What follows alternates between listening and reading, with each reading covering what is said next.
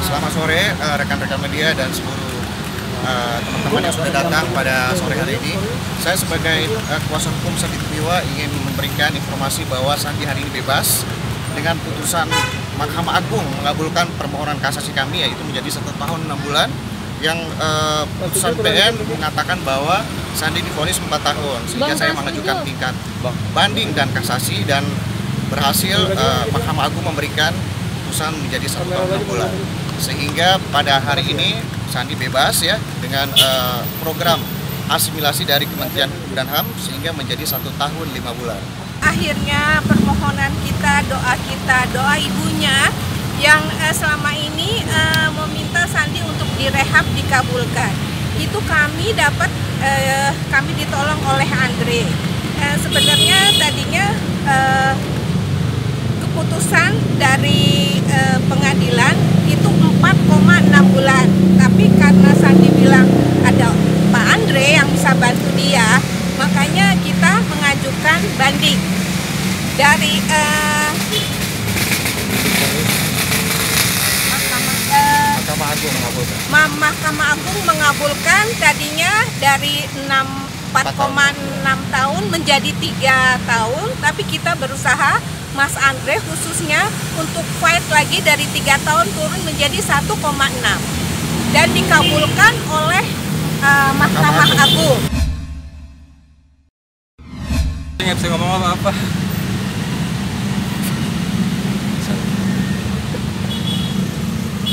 Saya nggak bisa ngomong sekarang saya nggak bisa ngomong.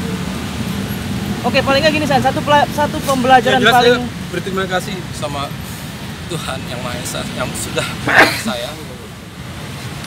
Dan kedua adalah saya terima kasih. Ada wasilah dengan Mas Andre. Mungkin kalau saya nggak bertemu dengan Mas Andre direferensi oleh teman-teman yang ada di dalam kemarin saya mungkin nggak mendapatkan uh, putusan seperti ini ya yang akhirnya sangat melegakan saya. Dan akhirnya memang uh, inilah kema ini kan para para kalau bilang candu kemarin-kemarin ya. Dan memang menjadi pukulan buat saya. Sangat saya nggak tahu ngomong apa lagi. Mungkin sekarang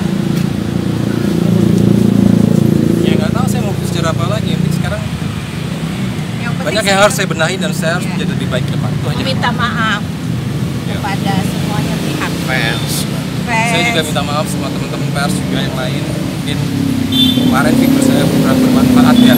Ya. Insya Allah bisa jadi lebih baik lagi ke depan dan bisa bermanfaat dan sekarang saya juga bisa mulai memilah-milih yang namanya lingkungan, pergaulan dan teman-teman yang ada. Terus kita kan tahu namanya mak- makna Idul Adha itu adalah pengorbanan. Di mana eh, pengorbanan itu mengorbankan salah satunya adalah pengorbanan sampai ibunya meninggal. Itu yang eh, belum bisa diterima oleh saya. Besar pengorbanan yang harus dipikul. Ya harus ingat itu ya San dia pengorbanannya cukup besar jadi harus perbaikannya juga Iya. harus Dan pesannya mamanya Sandi hanya satu, Sandi menjadi orang yang baik dan sayang keluarga, Keluarga. dan adik gitu aja. Itu udah dipesan, udah disampaikan Mas Sandi. Insya Allah Sandi akan eh, amanah.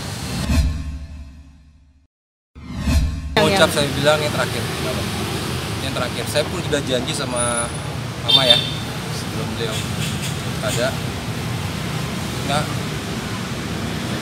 Saya mau ini apa? Saya minta ini adalah yang terakhir. Saya di penjara di mana pun saya ada di dunia Saya bilang begitu sama Mama Iya saya Seperti itu. Dan memang amanah Mama terakhir itu adalah mengucapkan gini. Mama nggak mau minta apa-apa, Mama cuma pengen kamu jadi anak yang baik. Itu aja. Dan itu, insya Allah. Saya nggak tahu lah. Jadi rencananya Sandi hari ini langsung eh, ziarah dulu ke makam Bunda. Mungkin besok paginya kami akan membawa Sandi ke rehabilitasi dia kita. Eh, untuk lebih lanjutnya mungkin pihak keluarga yang lebih mengetahui. Banyak. Ya, salah satunya adalah nerimo. Rasa nerima. Ikhlas ya. Maksudnya ikhlas itu kan nggak bisa dijawab, maksudnya nggak bisa diucapkan. Ikhlas itu cuma kalau kita ngeliat ke belakang, oh itu namanya ikhlas. Artinya kita harus bisa menerima kondisi apa yang terjadi dalam diri kita. Yang pertama adalah mengampuni. Saya harus bisa mengampuni orang lain dan mengampuni diri saya akan kesalahan saya dan akhirnya ya saya mesti legowo ke depannya dan mulai apa ya pelajaran-pelajaran sebelumnya ya saya ambil ke depannya untuk bisa lebih baik dan karena apa lagi ya toleransi menghargai satu sama lain dan yang satu lagi adalah bagaimana kita sebanyak-banyak apa yang terjadi Jadi jangan lupa untuk subscribe Cumi Cumi. Ditekan ya tombol lonceng merahnya.